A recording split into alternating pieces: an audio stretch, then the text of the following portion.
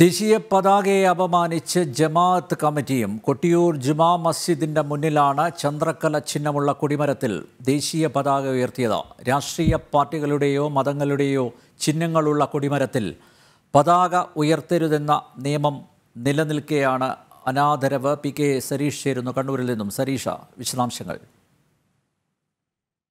അരുൺ നമ്പ്യാർ രാജ്യമൊട്ടാകെ ദേശീയ പതാക ഉയർത്തുകയും രാജ്യത്തോട് ഐക്യദാർഢ്യം പ്രഖ്യാപിച്ച് രാജ്യസ്നേഹം കാണിക്കുകയും ചെയ്യുമ്പോഴാണ് ഇത്തരത്തിൽ കൊട്ടിയൂരിലും പേരാവൂരിലുമായി രണ്ട് സ്ഥലങ്ങളിൽ ദേശീയ പതാകയോട് അനാദരവ് കാട്ടിയത്. അതിൽ പ്രധാനമായും ഈ ജമാഅത്ത് കമ്മിറ്റിയുടെ നേതൃത്വത്തിൽ ജുമാ മസ്ജിദിന് മുന്നിൽ സ്ഥാപിച്ച ഈ നിലവിൽ തന്നെ ലീഗിന്റെയും ഒപ്പം രാഷ്ട്രീയ പാർട്ടികളുടെ കൊടിമരത്തിൽ അതായത് ചന്ദ്രക്കല ചിഹ്നമുള്ള ആ കൊടിമരത്തിൽ പതാക ഉയർ ദേശീയ പതാക ഉയർത്തി എന്നുള്ളതാണ് നിലവിലെ ചട്ടമനുസരിച്ച് ഏതെങ്കിലും രാഷ്ട്രീയ പാർട്ടിയുടെയോ മതത്തിന്റെയോ ചിഹ്നം ഉള്ള ഒരു കൊടിമരത്തിലും അല്ലെങ്കിൽ ഒരു സ്ഥലത്തും ഈ പത ദേശീയ പതാക ഉയർത്തരുത് എന്നാണ് ചട്ടം. അതോടൊപ്പം സമീപത്ത് മറ്റ് പാർട്ടികളുടെ ചിഹ്നങ്ങൾ അല്ലെങ്കിൽ കൊടികൾ ഉണ്ടാവരുത് എന്നും നിയമമുണ്ട്. പക്ഷേ അത് മറികടന്നാണ് ഇത്തരത്തിലൊരു അല്ലെങ്കിൽ ദേശീയ പതാക ഇതേ കൊടിമരത്തിൽ തന്നെ സ്ഥാപിച്ചിരിക്കുന്നത്.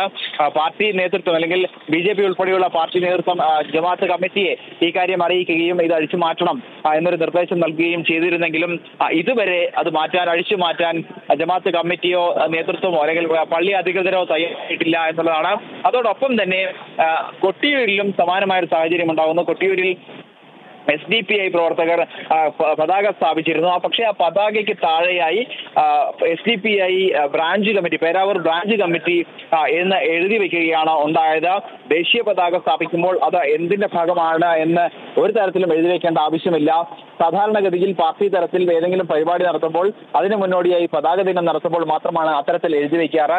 എസ് ഡി പി ഐയുടെ നേതൃത്വത്തിൽ ഇന്ന് പതാക ഉയർത്തുകയും അതിനുശേഷം അതിന് താഴെ S D P I branch committee Peravoor branch committee എന്ന് എഴുതി വയ്ക്കുകയും ചെയ്തിരിക്കുന്നത് യഥാർത്ഥത്തിൽ രാജ്യമൊട്ടാകെ ഈ ോടും ഒപ്പം സ്വാതന്ത്ര്യ ദിനത്തോടും അനുകൂലമായി പ്രതികരിക്കുമ്പോൾ ആ അതിനോടൊപ്പം നിൽക്കുകയും പക്ഷേ ഒപ്പം തങ്ങളുടെ രാഷ്ട്രീയം കൃത്യമായി വെളിവാക്കുകയും ചെയ്യുന്ന രണ്ട് സംഭവങ്ങളാണ് കൊട്ടിയൂരിലും പേരാവൂരിലുമായി. നടന്നിരിക്കുന്നത്.